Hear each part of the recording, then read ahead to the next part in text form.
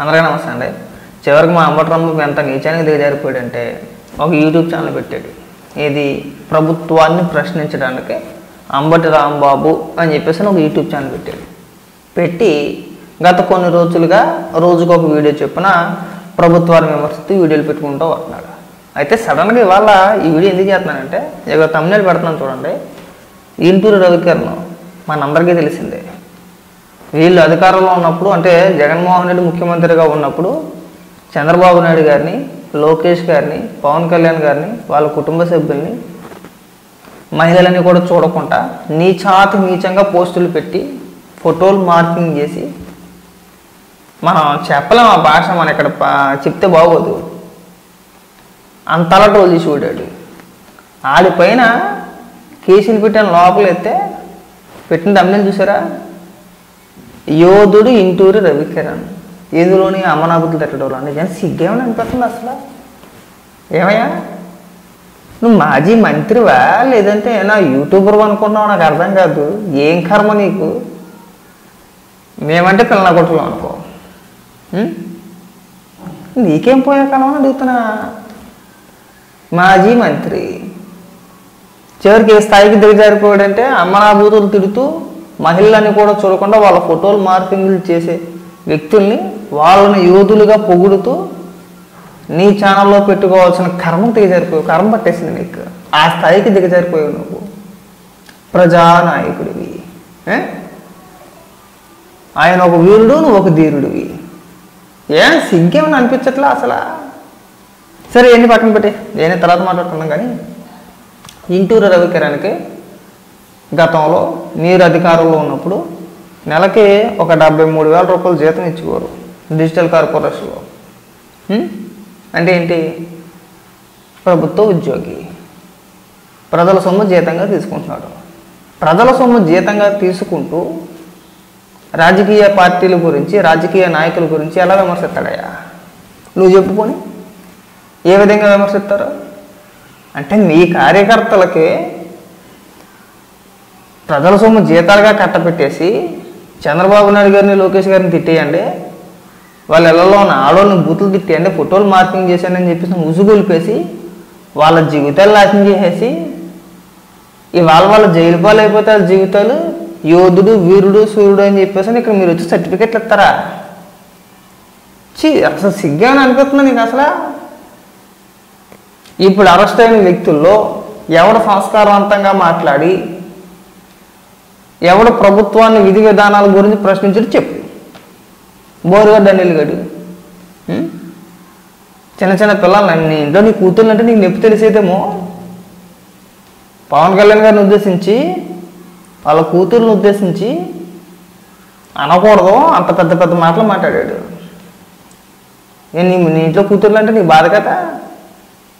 మనం అంటే నీకు తెలిసేది. మీ శ్రీరెడ్డి ఇద్దరు ఒకటే కేటగిరీ. నువ్వు సీరెడ్డి ఇద్దరు ఒకటే కేటగిరీ.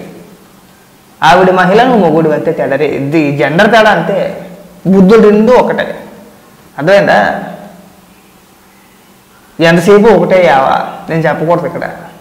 ఇద్దరు ఒకటే కేటగిరీ ఒకటే. ఇద్దరు మనస్తత్వాలు సేమ్ ఉంటాయి. ఇద్దరు ఒకే విధంగా ఆలోచన చేస్తూ ఉంటారు. అది కాకపోతే ఏంటంటే కొద్ది నోటితోలు కొద్ది ఏదేదో మాట్లాడేస్తూ ఉంటుంది. నువ్వు కాస్త కంట్రోల్లో పెట్టుకొని కేవలం ఫోన్లో మాత్రమే మాట్లాడతాం మనం. అది కూడా హస్కీ వాయిస్. చేంజ్ చేసుకున్నావా? చేసుకుంటారు చేంజ్? మాజీ మంత్రి అయి ఉంది పోరంబోగి కూడా సర్టిఫికెట్లు ఇచ్చుకుంటా నీ స్థాయిని నువ్వు ఎందుకయ్యా దిగజారు చేసుకుంటావు? నాకు అర్థం కావట్లా.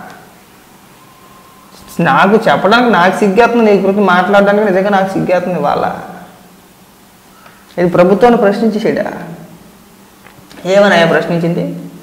నువ్వు చెప్పు. ఏం పోస్టులు అయితే ఏం కేసులు పెట్టారు చెప్పు. అరెస్ట్ అని ఎవడైనా సరే ఎవరినన్నా తీసుకో. ఎవరినన్నా చూపించు. చెప్పు. అది చెప్పలేరు. వాడు యోధుడు వీడు వీరుడు బోరుగడ్డ అనిల్ గడి గురించి కూడా వీడియో చేసే. ఇంకెందుకు లేటు? యోధుడు ఇంటూరు రవికరణ అన్నావు కదా. పోరాట వీరుడు బోరుగడ్డ అనిల్ కుమార్ అని చెప్పేసి నాకు వీడియో చేసే.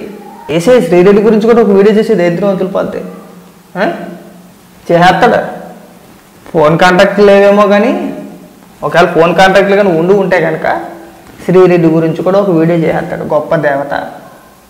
మా పార్టీని కాపాడింది శ్రీరెడ్డే. శ్రీరెడ్డి లేకపోతే మేము లేవు మేమే శ్రీరెడ్డి శ్రీరెడ్డే మేము. ఇవాళ ఏదో పరిస్థితులు బాగోక శ్రీరెడ్డిని అలా గాలికి వదిలేసామని కూడా మాట్లాడేస్తాడు. చేస్తాడు. రేపు ఎల్లుండో చేస్తాడు. శ్రీరెడ్డిని అక్రమంగా వేధిస్తున్నారు అన్యాయంగా వేధిస్తున్నారు అక్రమ కేసులు పెట్టారు. ఇంకా అదొక్కటే తక్కువ వచ్చింది ఇంకా. ఏ సిగ్గానికి వచ్చేట్లేదు రాంబాబు? మళ్ళీ చెప్తున్నా నేను. ఈ పోరబోకే ఎదల వల్లనే నువ్వు వెనకేసుకొస్తే నీ పరువే పోతే. బాగా గుర్తుపెట్టుకో. వాళ్ళు వేసిన వేషాలు వాళ్ళు వేసిన పోస్టులు ప్రజలందరూ చూశారు. ఎవడో కూడా అయ్యో పాపం వాళ్ళు అరెస్ట్ అయ్యారంట అని అనట్లా. ఇంకా సంతోషపడుతున్నారు. అర్థమైందా? కావాలంటే ఎక్కడ దాకా వద్దు మీ అఫీషియల్ పేజీలో ఇంటూరు రవికిరణ్ గారి పోస్ట్ కానీ వార్త కానీ వాళ్ళ భార్య మాట్లాడిన వీడియో కానీ వేస్తే ఆ కింద కామెంట్లు చదువుకో ఒకసారి. మీ పార్టీ కార్యకర్తలే మీ పార్టీ కార్యకర్తలే మిమ్మల్ని అమ్మనాభూతులు తిట్టుతున్నారు అలాంటి పోరంబోకి యాదవ్ని పెంచి పోషించే పదకొండు స్థానాలకే మనం పరిమితం అయ్యాము. ఇంకా వాళ్ళని వీళ్ళు దీనిలో చెప్పి ఎందుకు లేపుతున్నారా? మీ పని ఏదో మీరు చేసుకోండి. అవసరం అయితే వాళ్ళకి న్యాయపరంగా కాస్త సహాయం చేసి ఆ బెయిల్ ఏదో ఇప్పించి మీ పని మీరు చూడండిరా సవటల్లారా అని చెప్పేసి మీ కార్యకర్త తిడుతున్నారు. ఇక నువ్వు వచ్చేసి వీరుడు ధీరుడు అని చెప్పేసి నీకు వెనకేసి కూర్చేస్తున్నారు. నీకు ఒక దిక్కు మొక్కు ఉండదు. కాస్త సిగ్గుపడయ్యా నువ్వు మాజీ మంత్రివు కదా.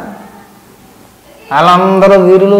ఇంక రానున్న రోజుల్లో పంచప్రభాకర్ గారు ఆ బోరిగడ్డి గారు శ్రీరెడ్డి వీళ్ళందరినీ కూడా మనం భుజాన్ని వేసుకొని మా పార్టీకి వీళ్ళే వీరులు. శ్రీరెడ్డిని ఉద్దేశించి చెప్పేసే ఇంకా. పోరాట యోధురాలు శ్రీరెడ్డి. తమ్నేలు అదే పెడతా. తమ్నేలు కూడా ఆ పోరాట యోధుడు ఇంటూ రవికిరణ్ పెట్టావు కదా నువ్వు. నేను నువ్వు శ్రీరెడ్డి గురించి మాట్లాడని పెడతా. పోరాట దేవత అని చెప్పేసాను లేదంటే ఇంకోటను ఇంకోటను లేదంటే పోరాట యోధురాలు అని చెప్పేసి అని పెట్టి ఎందుకంటే రేపు వెళ్ళి నువ్వు ఖచ్చితంగా చేస్తావు శ్రీరెడ్డి మీద వీడు నాకు తెలిసే విషయం. కాస్త సిగ్గుపడు. సిగ్గుపడి ఇంక సెల్ రాసాలి మానే. అయినా నీకు యూట్యూబ్ ఛానల్ ఎందుకు పెచ్చ కాకపోతే. యూట్యూబ్ ఒకటి తక్కువ వచ్చింది మనకి. నేను యూట్యూబ్లో ప్రభుత్వాన్ని ప్రశ్నించేస్తా. ప్రశ్నించు. కానీ ఇలాంటి యదవల్ని వెనకేసుకురామాకు అని అడుగుతున్నా.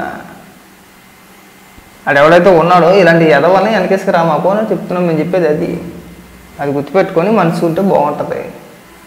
లేదు మేము ఎలాగే టాంగలాడతామంటే ఇక మా బోటలతో కనిపించుకోవాలి నువ్వు ఈ స్థాయికి ఈ రేంజ్కి దిగజారిపోతావని నేను ఎప్పుడూ అనుకోలే.